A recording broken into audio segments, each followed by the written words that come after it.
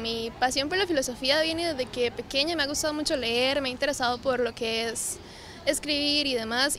Eh, nos ponía a hacer ensayos de temas muy controversiales y pues desarrollaron en mí un pensamiento más crítico, diría yo. La pasión por las letras y la filosofía de Alexandra y Mauricio nació desde la secundaria.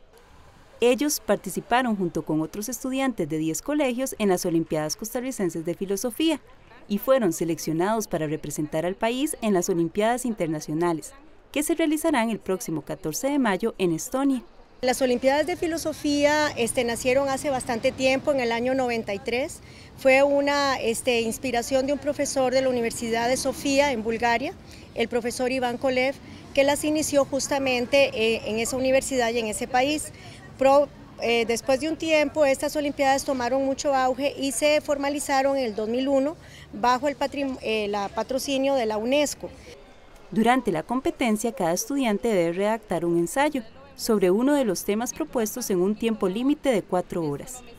Los criterios a evaluar son la relación con el tema, comprensión filosófica, persuasión, argumentación, coherencia y originalidad. Además, deben escribirse en una lengua distinta a la materna.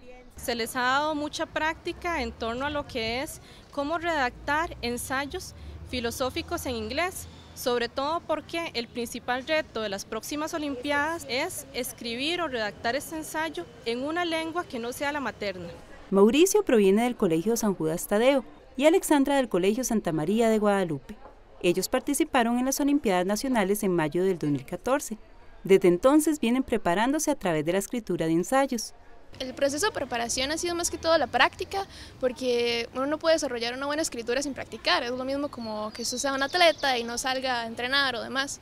La escritura funciona exactamente de la misma manera. Uno tiene que practicar y forzar y argumentarse bien. He tenido que empaparme un poco de autores famosos, nos han mandado varios artículos para leer, pero sobre todo escribiendo, escribiendo y escribiendo, practicando a punta de correcciones y errores que a veces nos nos suceden escribiendo, este, nos vamos preparando ya para la, para la Olimpiada. Esta es la segunda vez que Costa Rica participa. El año pasado lo hizo por primera vez en las Olimpiadas Internacionales en Vilna, Lituania.